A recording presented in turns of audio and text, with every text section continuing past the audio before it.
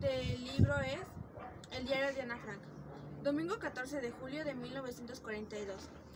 El viernes desperté ya a las 6. Era comprensible, pues eh, fue el día de mi cumpleaños.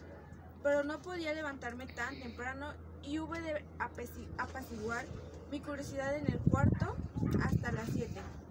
Entonces ya no soporté más y corrí hasta el corredor donde nuestro pequeño gatito Morsher me saludó con un efectivo cariño.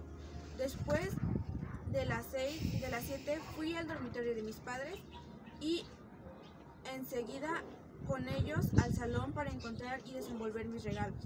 A ti, mi diario, te vi en primer lugar y sin duda fuiste mi mejor regalo. También me obsequiaron un ramo de rosas, un cactus, unas ramas de rosas silvestres. Fueron los primeros saludos del día, ya, ya que más tarde habría bastantes más. Papá y mamá me entregaron nuestros regalos y mis amigos tampoco se quedaron atrás. En materia de animarme, entre, entre otras cosas, me regalaron un libro titulado Cámara Oscura, un juego de mesa, muchas golosinas y un rompecabezas, un broche, las sagas y leyendas de, de leyendas de Hopper Cohen, otro libro encantador, Las vacaciones de Daisy y las montañas, algún dinero, algún dinero con este me compré las leyendas mitológicas. Es que pasó de Karen, te escucha mucho. Proceso por asesinato. He notado siempre una falta de valor muy preponderante, incluso en personas de inteligencia y culturas superiores, para comentar las experiencias psicológicas propias cuando han sido de índole extraña. Casi todos los hombres temen que lo relatado en tal línea carezca de lo paralelo o respuestas en la vida interna del oyente y pudiera provocar suspicacias o risas. Un viajero veraz que hubiera visto alguna criatura extraordinaria del tiempo de una serpiente marina, ningún miedo sentiría de mencionarlo. Pero ese mismo viajero, tras algún presentimiento, impulso, extravagancia del pensamiento, visión, por así llamarla, sueño u otra impresión mental sobresaliente y singular, dudaría considerablemente antes de aceptar haberla tenido. Atribuyo a tal resistencia gran parte del silencio que nos rodea a esos temas. No es habitual que comuniquemos nuestras experiencias con esos acontecimientos subjetivos como lo hacemos con nuestras experiencias de origen objetivo. Es consecuencia de esto que, el, fondo general de experiencias habidas en ese campo aparezca como el excepcional y que en realidad no lo sea. En el sentido de presente lamentablemente imperfecto, en lo que estoy por relatar, ninguna intención tengo de, pro de proponer una, teoría cualquiera, oponerme a ella o darle apoyo. Conozco la historia del libro de Berlín, estudié el caso de la esposa del finado astrónomo real, según relató, de Sir David. Ya. De ajuste. Son las 11 de la mañana. Doña Anjusta Vasconcelos está reclinada sobre un sofá, con un libro en la mano. Adeleida, su hija, deja correr los dedos por el teclado del piano. Papá ya se despertó, pregunta a Adeleida a su madre. No, respondió sin levantar los ojos del libro. Aleida se incorporó y se acercó a Augusta. Mamá, ya es muy tarde, dijo ella. Son las once, papá duerme demasiado. Angustia que dejó caer el libro sobre su rejazo y mirándola le dijo, Sucede que tu padre ayer se acostó muy tarde. Ya me di cuenta que nunca puedo despedirme de papá cuando me voy a acostar. Siempre está afuera. Angustia sonrió. Una campesina dijo ella. Duermes como las gallinas. Aquí son otras costumbres. Tu padre tiene mucho que hacer de noche. ¿Son cuestiones de política, mamá?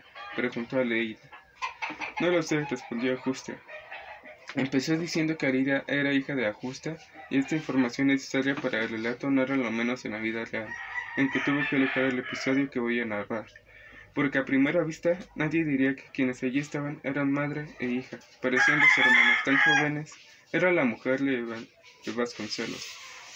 Tenía Angustia 30 años y Aleida 15.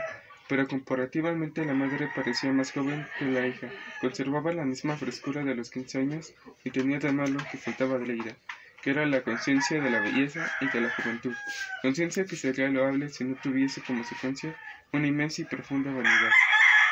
Su estatura mediana pero imponente, era muy blanca y sonrosada, tenía los cabellos castaños y los ojos carchos, las manos largas y bien dibujadas, parecían creadas para las caricias del amor. Sin embargo, daba a sus manos mayor destino las que se ven en terza cabritinilla. Todos los encantos de angustia estaban en Adelaida, pero en embrión se podía presentir que a los 20 años Adelaida iba a compartir la angustia, ajusta, pero por ahora habla en la niña ciertos gracias de infancia que atenuaban el, el alce de los atributos que la naturalizaba la había dotado. Sin embargo, era perfectamente capaz de despertar el amor de un hombre, sobre todo si él fuese poeta, y le gustase en las vírgenes de 15 años, incluso porque era un poco pálida, y los poetas en todas las épocas tuvieron siempre debilidad por las criaturas de piel descaída. Angustia, Ajusta vestía con suprema elegancia. Estaba mucho, es verdad, pero aprovechaba bien los enormes ejercicios que realizaba. Y es que los que hacía podía considerárselo un aprovechamiento. Debe, espero, hacer justicia a un hecho. Angustia no refugiaba jamás, dejaba el precio que le pedían por cualquier cosa. Ponía en ellos su grandeza y creía en el procedimiento contrario, era ridículo y dejaba en condición. En este punto ajusta compartió los sentimientos y servía los intereses de algunos mercaderes que entendían que es una deshonra para hacer cualquier tipo de rebaja en el precio de sus mercaderías. El proveedor Tiene este libro las anotaciones que nos queda de aquel hombre al que con una expresión con el mismo usaba muchas veces llamándonos el estepario.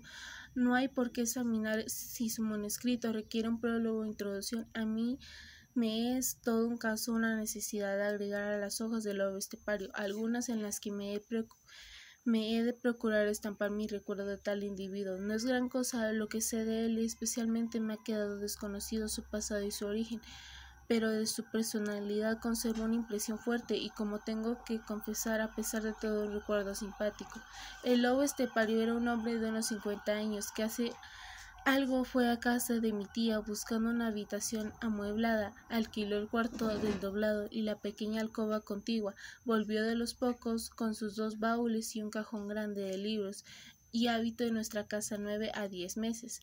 Vivió muy tranquilamente y para sí y no ser por la situación vecina de nuestros dormitorios que trajo consigo algún encuentro casual en la escalera o en el pasillo, no hubiéramos no hubiéramos acaso llegado a conocerlo, pues sociablemente no, e, no era este hombre.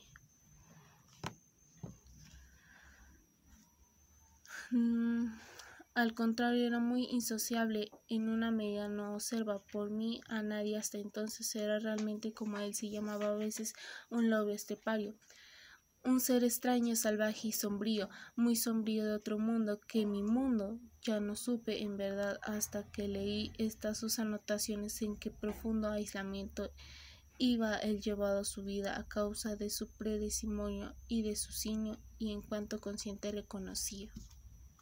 Él mismo este aislamiento con su propia predistación, sin embargo, ya a cierto modo lo había conocido ya antes por algún ligero encuentro y algunas conversaciones, y el retrato que se deducía de sus anotaciones era en el fondo coincidente con aquel otro, sin duda algo más pálido y defectuoso que yo me había forcejado para nuestro conocimiento personal. Mi nuevo maestro. Mientras estábamos ya sentado en su sitio. En vez, en cuanto me asomaba a la puerta, algunos de sus alumnos del anterior lo saludaban. Se veía que le tenían cariño y que le habría gustado seguir con él. Él le respondía buenos días y estrechaba la mano a los que se la atendían. Después se volvió hacia nosotros y nos miró con atención. Se puso a dictar y descendió de su tarima para pasear entre los bancos. Al fijarse en un alumno que tenía la cara con salpullido, suspendió el dictado, se acercó al muchacho y le puso una mano sobre la frente para ver si tenía fiebre y le preguntó si se sentía mal. Mientras tanto, un chico que estaba detrás del maestro se subió al banco y se puso a hacer payasadas. El maestro se volvió rápidamente y el chico, al ver sorprendido, se sentó y se quedó con la, con la cabeza baja esperando el castigo. El maestro le pidió que levantara la cabeza y le dijo, no lo vuelvas a hacer. Y esto quedó todo. Volvió a su mesa y terminó el dictado. Después nos miró un rato en silencio y luego con voz grave pero dulce nos dijo, ustedes y yo pasaremos un año juntos y debemos buscar una manera de pasarlas bien. Yo no tengo familia, mi familia son ustedes. Mi deseo es no tener que imponer ningún castigo.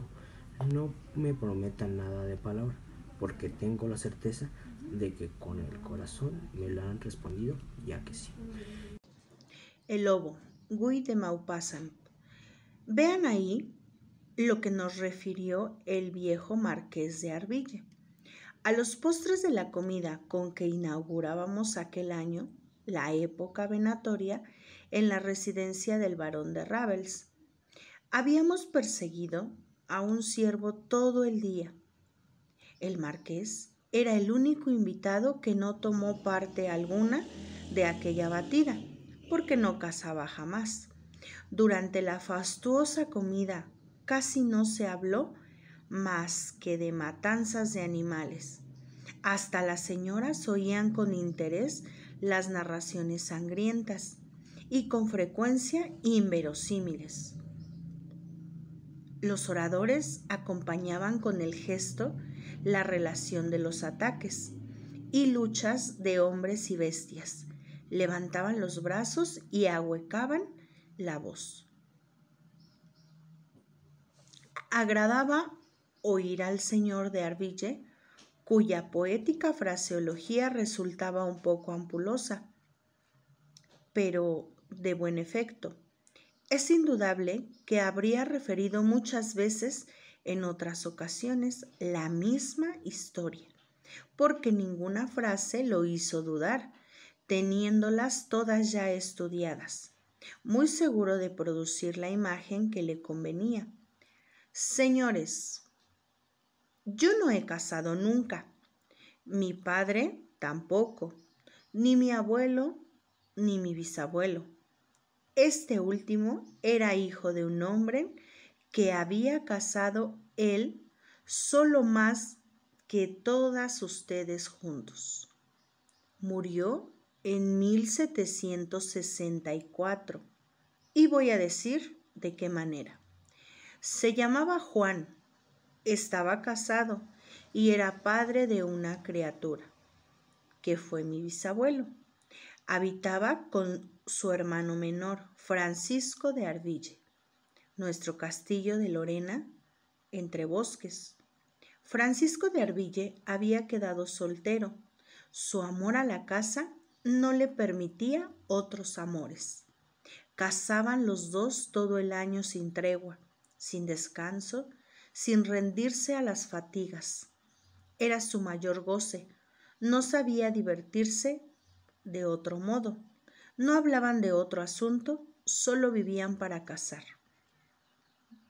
Dominábalos aquella pasión terrible, inexorable, abrazándolos, poseyéndolos, no... El día en que lo iban a matar, Santiago Nazar se levantó a las cinco y media de la mañana para esperar el buque en que llegaba el obispo. Había soñado que atravesaba un bosque de girones donde caía una llovizna tierna y por un instante fue feliz en el sueño. Pero al despertar se sintió por completo salpicado de cagada de pájaros. Siempre soñaba con los árboles. Me dijo Plácida, Plácida su madre evocando 27 años después los pormenores de aquel lunes ingrato.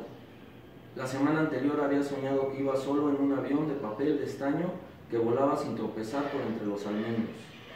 Tenía una reputación muy bien ganada de intérprete certera de los sueños ajenos. Siempre que se los contaran en ayunas, pero no había advertido ningún augurio asiago en esos dos sueños de su hijo ni en los otros sueños con árboles, que él había contado en las mañanas que precedieron a su muerte. Tampoco Santiago Naza reconoció el presagio. Había dormido poco y mal, sin quitarse la ropa. y despertó con dolor de cabeza y con un sedimiento de estribo de cobre en el paladar, y los interpretó como estragos naturales de la parranda de bodas que se había prolongado hasta después de la medianoche. Más aún, las muchas personas que encontró desde que salió de su casa a las 6.05 hasta que se hasta desatado como un cerdo una hora después, lo recordarán un poco soñoliento, pero de buen humor. Y a todos les comentó de un modo casual que era un día muy hermoso. Nadie estaba seguro de si se refería al estado del tiempo. Muchos coincidían en el recuerdo de que era una mañana radiante con una brisa de mar que llegaba a través de los platanales.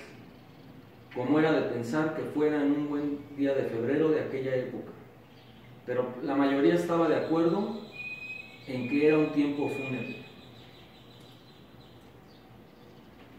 Con el cielo turbio y bajo un denso olor de aguas dormidas y que en el instante de la desgracia estaba cayendo una llovizna menuda como la que había visto Santiago Nazan en el bosque del sueño.